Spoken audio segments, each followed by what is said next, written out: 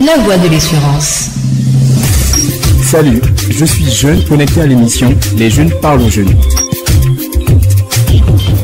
Madame, Monsieur, la semaine dernière, à cette émission, il a été question de la culture de résultats et nous avions échangé avec Monsieur Kwaku Samuel. Il est ingénieur du génie rural, sous-directeur de l'évaluation et de la pérennisation des acquis à la direction de l'évaluation et des projets du ministère de l'Agriculture. Nous l'avions également dit la semaine dernière, c'est un Ivoirien qui a honoré l'Afrique et la Côte d'Ivoire en intégrant la Société européenne d'évaluation. Monsieur Kwaku Samuel, rebonsoir. Bonsoir. Bienvenue à nouveau. Merci beaucoup. Qu'avons-nous vu la semaine dernière pour qu'on puisse être au même niveau d'information avec les auditeurs? La semaine dernière, nous avons vu la notion de suivi, évaluation, accès sur les résultats et surtout, nous avons retenu qu'en tant que jeunes, en tant que chrétiens ou même euh, personnes publiques, nous devons avoir dans notre comportement de tous les jours cette volonté de rechercher les résultats, je dirais, concrets. Et nous avons vu également aussi que, avec la mondialisation, c'est-à-dire avec les changements qui interviennent au niveau mondial, de plus en plus, les partenaires financiers, les autres fidèles des autres pays qui nous apportent leur soutien, sont de plus en plus tournés vers le suivi des activités, l'évaluation, les audits. Et nous avons vu également aussi que les outils de suivi évaluation sont des outils qui sont en perpétuelle évolution. C'est ce que la semaine dernière nous avons retenu et nous avons invité chacun de nous à pouvoir rechercher la perfection en tant que chrétien, mais surtout la performance dans toutes les activités que nous réalisons. Merci beaucoup, Monsieur Kwaku Samuel. Je pense que juste après ce bref rappel, nous sommes au même niveau d'information avec tous ceux qui nous écoutent en ce moment même sur la 101.6 FM. Les jeunes parlent aux jeunes. Les jeunes parlent aux jeunes. Une émission d'échange entre jeunes. Les jeunes parlent aux jeunes. C'est la tribune des jeunes sur la voie de l'espérance. Présentation Stéphane Leba. De façon concrète, Monsieur Kwaku, est-ce qu'il est normal de nos jours de faire une activité sans bilan? Comme je l'ai dit la semaine dernière, il est important pour nous, et particulièrement pour nous chrétiens, de pouvoir vraiment faire le bilan de nos activités. Et je reviens encore sur l'exemple du roi Salomon. Lorsqu'il a fini d'achever la construction du temple, il y a eu un culte, je dirais un culte bilan avec euh, tout le peuple. Et c'est à la suite de cela que Dieu, n'est-ce pas, lui a paru pour lui dire, n'est-ce pas, qu'il exauçait la prière qu'il a eu à réaliser. Donc il est vraiment important, je dirais même nécessaire, que toutes les actions, toutes les activités que nous réalisons dans nos églises, nous puissions, n'est-ce pas, faire un bilan faire un bilan.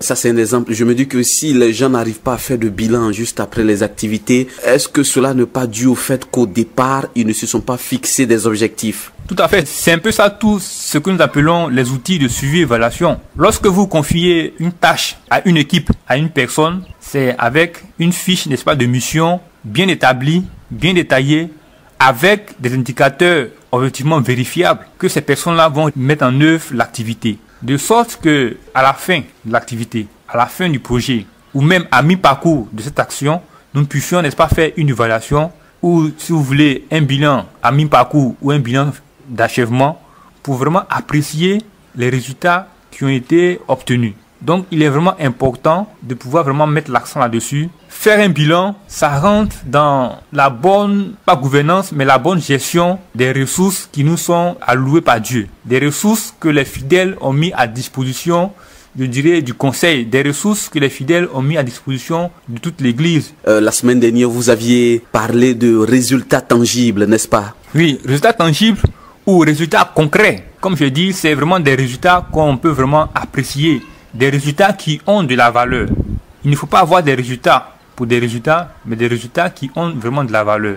Et lorsque une action est formulée, lorsque un projet est formulé, il y a des résultats que le projet doit atteindre dans sa mise en œuvre, soit trois mois après, soit six mois après, soit même cinq ans après, pour des projets, n'est-ce pas, de développement rural ou urbain. Mais ces résultats-là, n'est-ce pas, sont bien consignés dans ce que on appelle le rapport d'évaluation ou le, rapport, n'est-ce pas, de l'étude de faisabilité. Donc c'est vers ces résultats que nous travaillons, c'est ces résultats que nous recherchons dans la mise en œuvre de nos actions. De même, lorsque un conseil de l'Église est mis en place, après des élections ou des choix, il est important que ce conseil ou bien euh, les membres de chaque conseil puissent avoir des fiches de performance, de sorte qu'à la fin de leurs activités, ou même de manière annuelle, comme c'est le cas dans la plupart de nos entreprises publiques ou privées, ils puissent avoir, n'est-ce pas, des, des bilans où, sur la base des indicateurs qui ont été préalablement identifiés, on puisse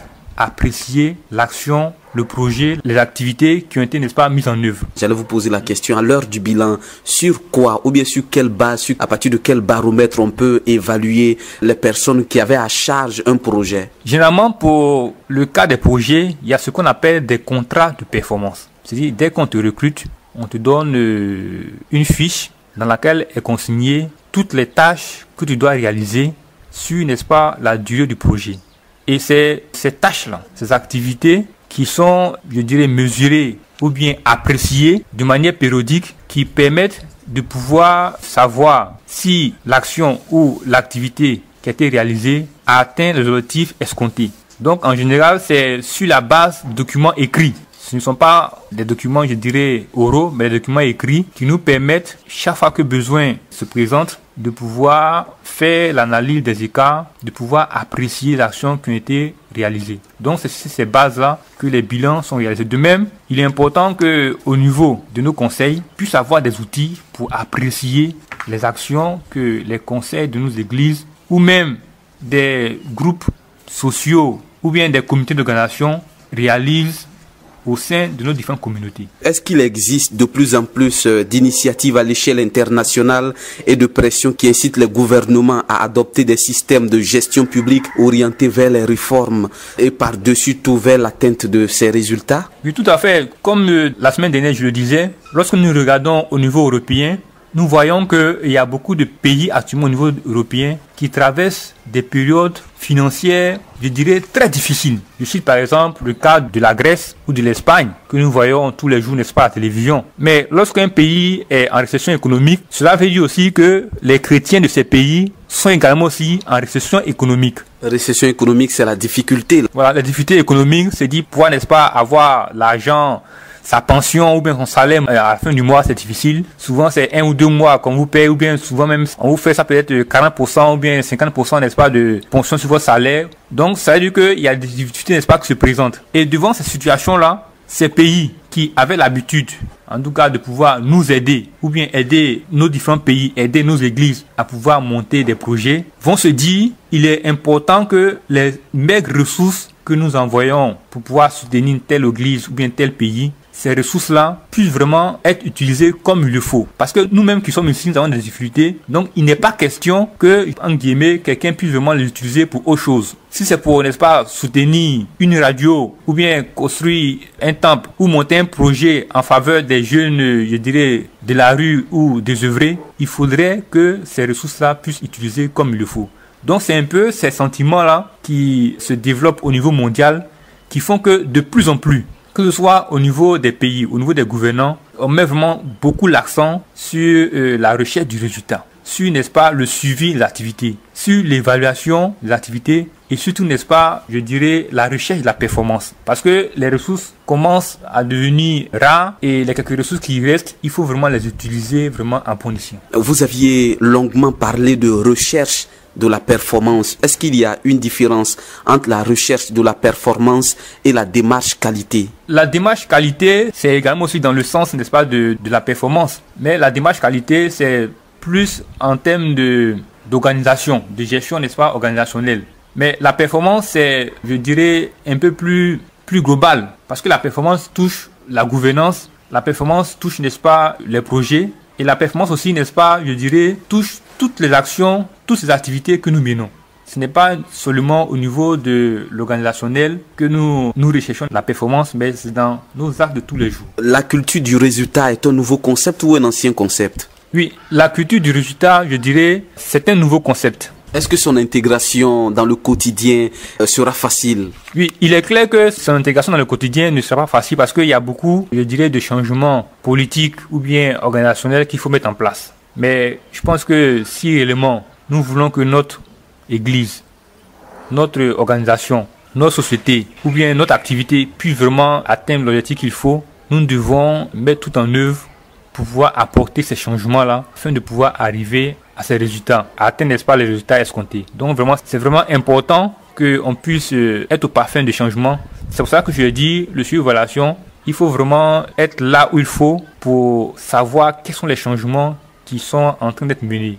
Et je pense que ma modèle personne que je suis, je pourrais être la personne de, veille afin de pouvoir euh, indiquer à nos autorités les nouveautés, les changements qui interviennent dans la mise en œuvre, dans la gestion des ressources qui sont mis à notre disposition. Nous ne voulons écorcher personne dans cette émission et au cours de cette émission, nous nous parlons simplement de la culture du résultat et notre objectif est d'amener les uns et les autres à intégrer la culture du résultat à leur quotidien pour ne pas être surpris pour parler comme vous parce que vous revenez de l'Europe et nous savons que la plupart de nos aides viennent de l'Europe et eux pour parler comme vous également, ils ne pardonnent pas sur un certain nombre de détails, n'est-ce pas? Tout à fait. Je voudrais peut-être prendre un exemple. C'est vrai qu'on parle de l'Europe, mais dans notre pays, ici en Côte d'Ivoire, il est arrivé une fois une communauté sœur, que je ne vais pas citer, a réalisé un projet sur des ressources d'un pays européen.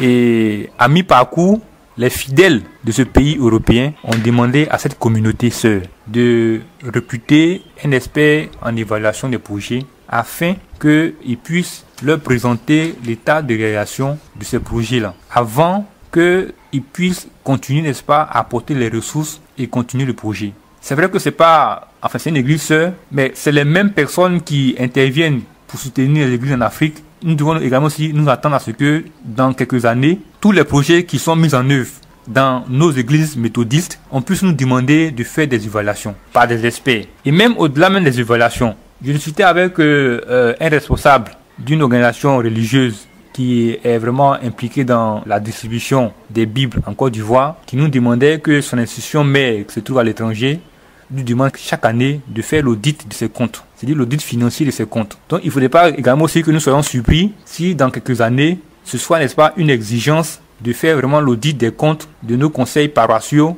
ou bien de nos groupes d'activité au niveau des églises. C'est-à-dire présenter vraiment dans les plus brefs détails, au mieux même faire appel à un cabinet d'audit ou bien un cabinet d'évaluation des projets pour vraiment rédiger des rapports qui seront, je dirais, sans contestation. Donc c'est vraiment euh, ces nouveaux défis-là auxquels on doit s'attendre dans les années à venir. Vous, vous êtes évaluateur et euh, quand on évalue et qu'il y a des manques et qu'il y a des trous, vous voyez ce dont je parle.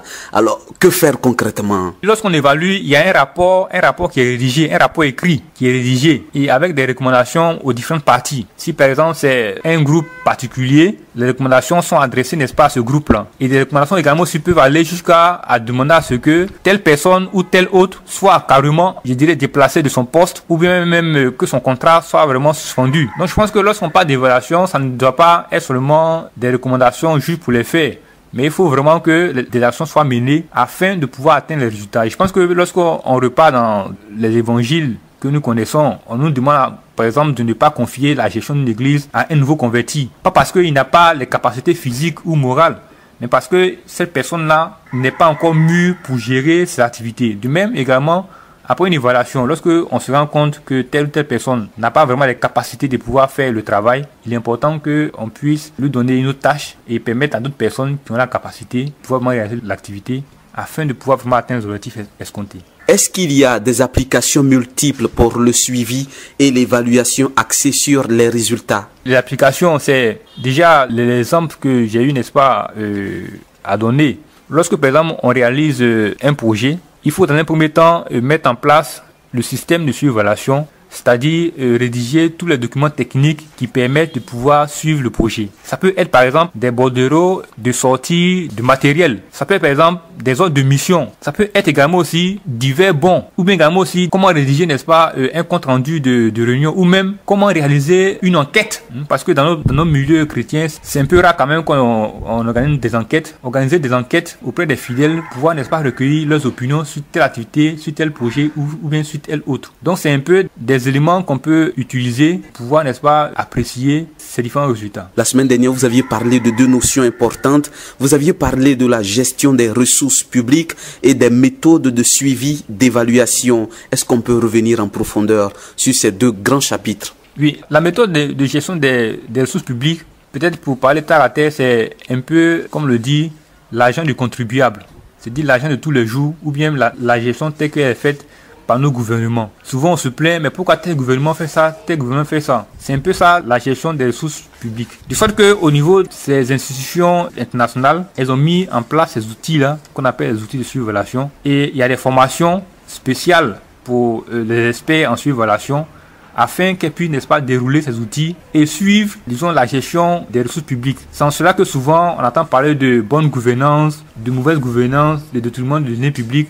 C'est à partir de, des évaluations qui ont été réalisées que ces résultats-là, n'est-ce pas, sont portés à l'attention des pouvoirs publics. Donc de même aussi dans le milieu religieux, on ne parlera pas n'est-ce pas de gestion des, des, ressources publiques, mais de gestion n'est-ce pas des ressources des fidèles, ou bien de gestion n'est-ce pas des, des ressources n'est-ce pas de, de, la communauté. Il faudrait aussi que ces outils-là soient mis en place afin de pouvoir pas contraindre, mais vraiment nous aider à pouvoir mieux gérer ces ressources-là. Donc c'est dans ce cadre-là que le suivi évaluation est mis en place et maintenant on met plus l'accent sur vraiment le résultat que nous devons atteindre. La voie de l'espérance. Salut, je suis jeune connecté à l'émission Les jeunes parlent aux jeunes. Loin de nous l'idée d'écorcher quelqu'un à cette émission, mais plutôt notre objectif est d'amener les uns et les autres à intégrer la culture du résultat à leur quotidien pour ne pas être surpris. Comment les jeunes peuvent révolutionner ce système?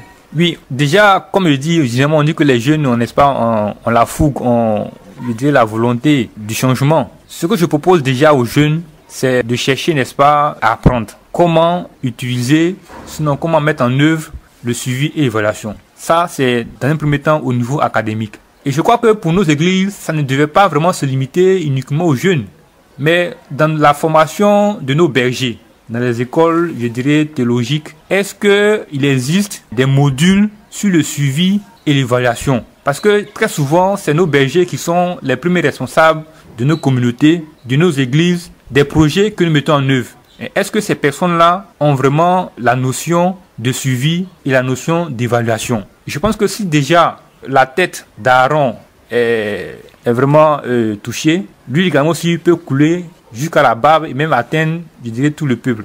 Et peut-être pour aller encore plus loin, comme son méthodiste, nous avons une université méthodiste je souhaiterais que vraiment dans le cursus scolaire, on puisse intégrer le suivi et l'évaluation en tant que module pour permettre à tous ces étudiants, à tous ces jeunes qui y rentrent pour leur formation, de pouvoir à leur sortie déjà être opérationnels. Et je pense que c'est en mettant en œuvre ces quelques pratiques ou recommandations que nous pourrons euh, ensemble, avec notre Dieu, apporter vraiment un changement, je dirais, significatif dans nos activités de tous les jours et même dans la gestion de nos églises de nos projets communautaires. Merci infiniment, Monsieur Kwaku Samuel. Vous êtes ingénieur du génie rural. Vous êtes sous-directeur de l'évaluation et de la pérennisation des acquis à la direction de l'évaluation et des projets du ministère de l'Agriculture. Vous êtes également membre de l'Église méthodiste unie Temple Péniel de Niangon Nord. C'est à Yopougon, à la cité ECI. Avec vous, durant deux semaines, nous avions parlé de la culture du résultat. En 30 minutes, on ne peut pas tout dire. Que dire? En guise de conclusion finale au terme de cette deuxième émission En guise de conclusion, pour moi, c'est d'abord un sentiment de joie et surtout vraiment une action de grâce que je rends à Dieu qui m'a permis de pouvoir arriver jusqu'à ce stade. Comme je le dis, un milieu d'apprentissage, un milieu de veille, mais également aussi un milieu où je me dis, avec les connaissances que je vais euh, acquérir, si réellement mon Église le veut, je peux, n'est-ce pas, l'aider à pouvoir mettre en place ces différents outils pour une meilleure gestion de nos activités. Et au-delà même de la mise en place de l'activité de surveillance, je pense que c'est Dieu qui m'a conduit parce que durant tout mon voyage, il a mis en place des personnes, d'autres communautés que je ne connaissais pas pour m'aider et pour me soutenir. Et pour finir, je voudrais réellement, comme je l'ai eu à le dire, inviter euh, nos gouvernants à pouvoir faire réellement de la recherche du résultat leur combat de tous les jours. On me dira que nous faisons le suivi et l'évaluation de nos actions ou de nos projets, mais moi je rétorquerai que au stade où nous sommes, nous mettons l'accent sur le résultat, sur les résultats tangibles. Nous mettons l'accent sur la performance, la performance de nos activités. Je voudrais pour finir inviter vraiment mes amis jeunes à pouvoir vraiment rechercher la connaissance. Et aujourd'hui, pour ceux, par exemple, qui utilisent, n'est-ce pas, les NTIC, ils peuvent avoir des formations gratuites en suivi et évaluation pour leur permettre déjà de pouvoir faire les bases. en attendant de pouvoir peut-être avoir les ressources pour intégrer des cursus de formation ou bien de grandes universités pour avoir des formations solides. Donc c'est en ces quelques mots que je voudrais vraiment remercier toute l'équipe qui a bien voulu m'accueillir et demander à mes amis jeunes de réellement faire de la recherche de la performance, faire de la recherche du résultat, vraiment leur chemin de bataille et que dans quelques années, on puisse également aussi entendre qu'il y a encore des Ivoiriens, peut-être même des méthodistes, qui ont été, n'est-ce pas, les premiers dans divers autres domaines. Point final à cette émission. Merci à toutes ces personnes qui nous ont aidés dans la préparation et la réalisation de cette émission. Mention spéciale au président Eric Ané de l'Église méthodiste unie Israël pour sa collaboration. Merci d'avoir été des nôtres. Que le Seigneur nous bénisse et puis recherchons la culture du résultat dans toutes nos activités. À plus tard. Que Dieu nous bénisse. C'était Les jeunes parlent aux jeunes. Les jeunes parlent aux jeunes. Une émission d'échange entre jeunes. Les jeunes parlent aux jeunes. C'est la tribune des jeunes sur la voie de l'espérance.